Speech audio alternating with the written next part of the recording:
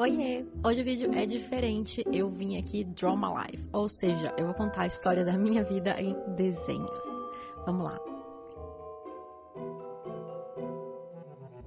Eu nasci no dia 2 de março, o que faz de mim uma pisciana. O meu nome é Luísa, com S e com acento, mas todo mundo me chama de Lu e vocês podem me chamar assim também.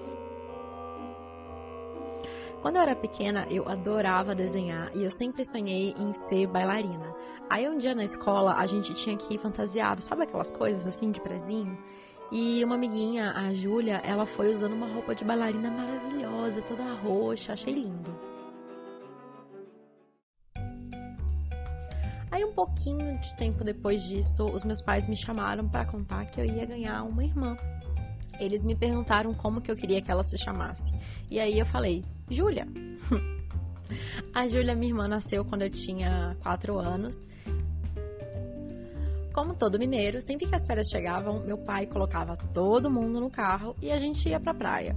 E eram sempre as mesmas praias, tipo, sempre variava entre Guarapari e Cabo Frio, que todo mundo fala que é praia de mineiro, né? Só que depois de algum tempo, eu passei a não gostar desse tipo de programa, porque eu ficava incomodada com a areia, com o sol, o sal do mar e tal. E eu ficava o tempo inteiro embaixo do guarda-sol e reclamando. Já era uma chata. Eu finalmente entrei no balé e a minha irmã também entrou comigo e eu adorava, principalmente quando tinham as apresentações. Nessa época eu achava que eu ia ser bailarina para sempre, assim. Eu adorava a ideia de ficar no camarim, esperando a hora de entrar, enfim. Só que o problema é que eu era gordinha, tímida e eu tive até uma fase um pouco solitária, assim, na minha, na minha infância, que eu lembro que eu passava o recreio inteiro na biblioteca. Eu não tinha muitos amigos, não tinha muito o que fazer, então eu descia, ia para a biblioteca e ficava lendo. O que na verdade eu acho que foi até uma coisa que me fez bem, considerando o que eu faço hoje em dia. Mas eu não era uma, uma criança muito feliz. Ainda nessa fase, eu e a Júlia, a gente fez uma campanha em casa, porque a gente queria, porque queria um cachorro. E a minha mãe odiava cachorro. Não odiava, mas ela acho que ela tinha um pouco de medo. Então ela não queria que a gente tivesse cachorro de jeito nenhum. Só que a gente insistiu, insistiu, insistiu e a gente ganhou um cachorro, que foi um poodle que a gente chamou de Tuti. Sense, quando eu tinha uns 12, 13 anos, eu tava gordinha. Eu usava óculos porque eu sou míope, né? Bem míope, na verdade. E eu também usava aparelho fixo. Era tipo Betty a Feia, gente. Era muito feio. E isso me incomodava. Então, depois de um tempo, eu acabei pedindo em casa para fazer uma dieta, para ver se emagrecia um pouquinho. É, conversei com meu médico e coloquei lente de contato. Eu já usava óculos há alguns anos. E pouco depois, o tratamento do aparelho acabou. E essa época foi ótima, porque a minha autoestima melhorou muito. Eu fiquei uma pessoa muito mais feliz. E a minha vida acabou mudando também.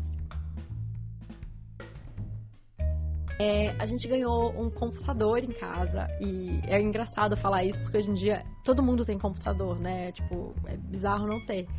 Mas nessa época não, era um feito, sabe? Tipo, nossa, agora tem computador na casa do tio fulano e tal. E aí, eu tinha 13 anos quando a gente ganhou o nosso. E o meu passatempo favorito era ficar horas descobrindo a internet, que tava no comecinho e era muito gostoso, eu gostei desde o início foi com 13 anos que eu criei o meu primeiro blog, que era um diarinho, assim.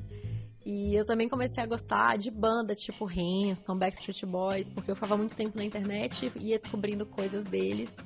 E aí nessa época eu já fazia parte também de um fã-clube das Spice Girls. Gente, a pessoa tem um gosto musical muito maravilhoso. E logo depois eu acabei criando os meus fã-clubes pro Hanson e pros Backstreet Boys. E foi uma época muito divertida, que eu tinha amigas que gostavam disso também, enfim. Com uns 15 anos, eu acabei entrando pro Grêmio e o que eu mais gostava era cuidar do espacinho que a gente tinha no jornal do colégio. É, eu sempre gostei dessa coisa de, de revista, nessa época eu lia todas as revistas adolescentes que eu recebia, tipo Capricho, Atrevida, na época tinha Querida também. E, e, eu gostava muito de revista e adorava fazer o jornalzinho. Foi com essa idade também que eu fiz a minha primeira tatuagem. E eu era tão novinha, né, com 15 anos, que minha mãe teve que ir comigo no estúdio para autorizar. Mas tudo bem, ela topou, foi e eu fiz. Quando chegou a época do vestibular, eu não sabia direito o que escolher. Eu fiquei muito na dúvida entre design gráfico e arquitetura. Eu acabei prestando vestibular para os dois cursos, cada um numa faculdade. Mas por sorte, ou azar, né? Eu não tive que escolher, porque eu só passei na UENG e aí eu fui fazer o curso de design gráfico. Só que logo que eu passei, eu vi que as coisas iam ser um pouquinho diferentes do colégio, porque a UENG é uma universidade estadual. E o prédio que eu ia estudar tava tão velho, tão mal cuidado, que, tipo, embargaram o prédio, ninguém podia entrar lá dentro, a gente não podia ter aula. Então as minhas aulas não começaram. Eu fiquei um mês e meio parada depois de passar no vestibular e eu não tinha onde ter aula. E nessa época a gente se juntou, assim, todo mundo da UENG, e a gente foi protestar pela cidade, gente. Fazendo barulho, fechando o trânsito, porque a gente não tinha como ter aula. E isso durou mais ou menos um mês e meio até eles acharem um prédio bem horroroso pra gente ter aula lá dentro. Durante a faculdade, eu acabei experimentando várias cores de cabelo. Na verdade, eu pinto o cabelo desde os 14 anos, assim. Só que era sempre assim, castanho escuro, castanho avermelhado, era um castanho alguma coisa, sabe? Eu nunca variava muito da minha cor natural, que é castanho, por sinal, não é louro como pode parecer que seja. Mas aí no meio da faculdade eu resolvi pintar ele de vermelho, gente. Era um vermelhaço meu cabelo. E foi muito marcante e também foi muito chato de cuidar, gente. É muito difícil cuidar de cabelo vermelho. Eu não animo voltar.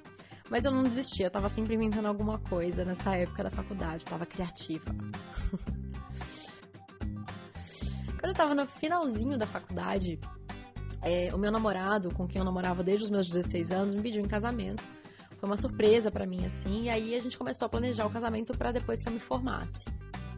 Quando chegou a hora de fazer o TCC, que é um projeto, né, de é, conclusão de curso, eu quis fazer um projeto para uma marca de moda. Eu criei uma marca de camisetas e aí eu fui desenvolver tudo para essa marca, a identidade visual, o catálogo, fiz fotos, desenvolvi uma coleção, fiz um monte de estampa, fiz as camisetas. Eu me diverti muito fazendo. E eu fiz direitinho, porque eu tirei 100 nesse projeto. É, eu escolhi fazer isso, eu lembro porque na época eu trabalhava em, em agência e eu queria dar um jeito de juntar design com moda. Também foi nessa época que eu criei mais um blog, né? Que eu resolvi chamar de Chata de Galocha que era um lugar para ser chata mesmo, falar o que eu achava dos lugares que eu ia, enfim. Mas eu tava com essa onda de, de moda e logo depois eu comecei a ler outros blogs também que falavam de moda, beleza, etc. E vocês já sabem que isso acabou mudando um pouco o tema do blog, né? Até ele virar o que ele é hoje. Eu fazia estágio desde o meio do meu curso, e eu sempre trabalhava na parte de criação de agências de comunicação, agência de propaganda, enfim. E o meu último estágio acabou virando meu primeiro emprego, porque depois de uns oito meses, mais ou menos, sendo estagiária, eu acabei sendo efetivada como diretora de arte pelo meu chefe na época, o Léo. Eu acabei não durando muito tempo nesse primeiro emprego, porque eu recebi uma proposta mais legal de uma agência que eu sempre quis trabalhar logo depois. Então, sei lá, uns quatro meses depois de ser efetivada, eu saí e fui trabalhar em outra agência, onde eu fiquei tipo um ano, assim. Essa última agência que eu tava trabalhando acabou fechando e aí eu resolvi não procurar outro emprego, eu resolvi virar freela, porque eu já tinha trabalhos com vários clientes que acabavam rendendo mais grana do que um emprego me renderia na época. Então eu fui trabalhar em casa, é, tipo, trabalhando para vários clientes ao mesmo tempo. O problema é que eu ficava muito sozinha, né? Porque eu ficava em casa o dia todo. E aí eu acabei ganhando um cachorro para não ficar sozinho o tempo inteiro, o Spock.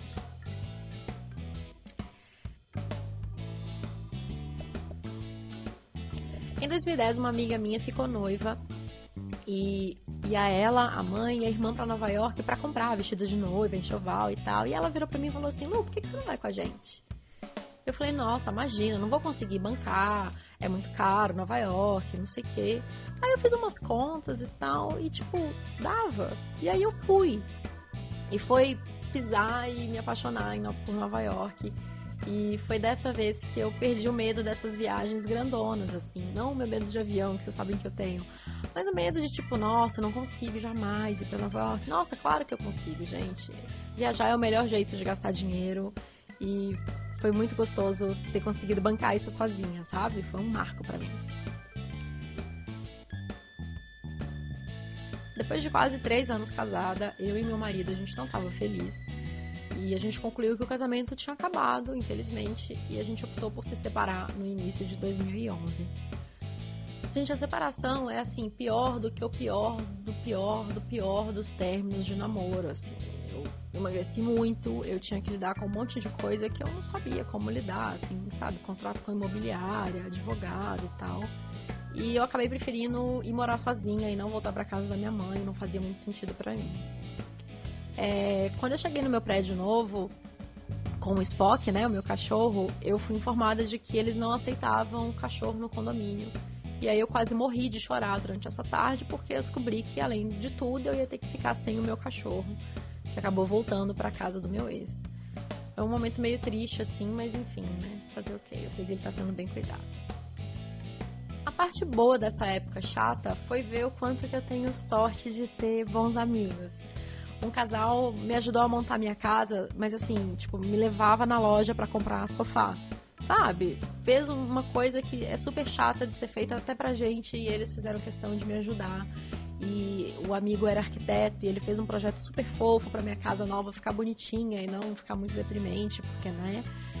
E, enfim, eles foram muito queridos comigo. É, meus amigos também nunca me deixavam ficar sozinha, eles sempre me levavam para sair, iam lá para casa, enfim eu me animando e depois de um tempinho eu fui voltando a ser feliz e fui ficando bem de novo.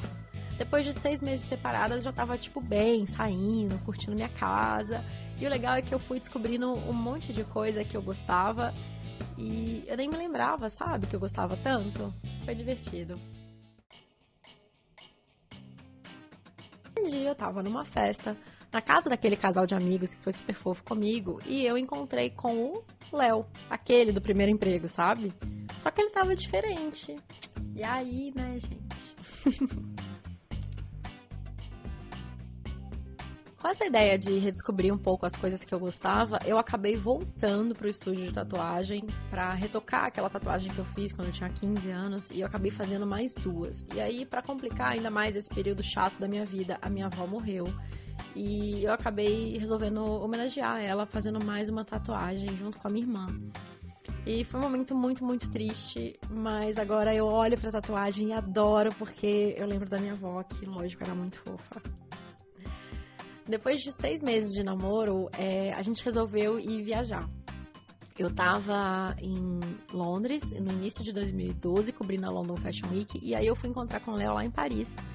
E aí a gente conheceu Paris e depois a gente foi descendo pela França até a gente chegar na Itália, que a gente conheceu junto e a gente amou, amou, amou. Gente, a comida na Itália é maravilhosa. Eu voltei rolando. Nossa, valeu cada caloria.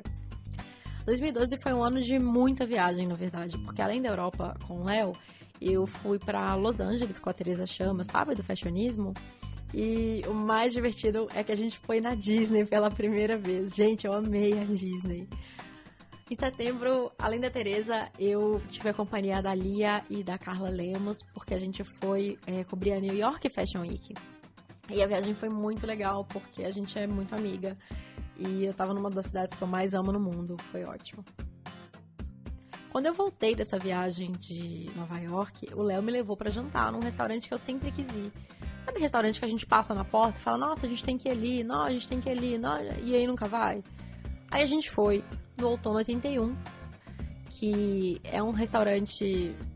É uma importadora de vinhos, na verdade, é super descontraído. E aí a gente tava lá, né, tomando vinho, não sei o que, olhando o lugar. E o pãozinho, gente, que eles servem de entrada é muito gostoso. Aí eu tava lá distraída e tal. Quando o Léo começa um discurso super fofo, me tira um anel do bolso e coloca na minha mão. Gente, eu tava com um pão na boca, não conseguia responder. Foi muito engraçado e foi muito fofo ao mesmo tempo. E aí a gente ficou noivo e começou a planejar o casamento. A história é que a gente não, não conseguiu esperar e em novembro de 2012 a gente já veio morar junto. É, bem antes do casamento mesmo, né? Em dezembro teve mais uma viagem. Eu fui para Miami para comprar um vestido de noiva e coisinhas para nossa casa, tipo enxoval, assim. Eu amei Miami, é uma cidade muito divertida. No final de 2012, eu também tive uma surpresa profissional dessa vez. Eu fui convidada pela 102,9, que é uma rádio aqui de BH, a ter um programinha por lá. Então, desde essa época, eu tô lá todos os dias falando de moda, beleza, enfim. É tipo uma versão rapidinha, assim, das coisas que eu falo no blog e eu adoro ter esse programinha. 11 de maio de 2013, a gente voltou ao Outono 81, só que dessa vez com a nossa família, com os nossos amigos, nossos convidados, porque a gente se casou no restaurante onde ele me pediu em casamento. A cerimônia foi linda, muito melhor do que eu imaginava. E o mais gostoso é que eu acho que a gente faz tudo melhor junto, sabe? Tudo fica mais gostoso quando a gente tá junto. A gente adora cozinhar junto, a gente adora ir até o supermercado junto. E a gente também adora gravar vídeos pro YouTube juntos. a gente sempre tá junto fazendo os vídeos que vocês veem aqui no canal. E é uma coisa que acho que dá pra ver que eu me divirto muito fazendo. Espero que vocês também gostem de ver.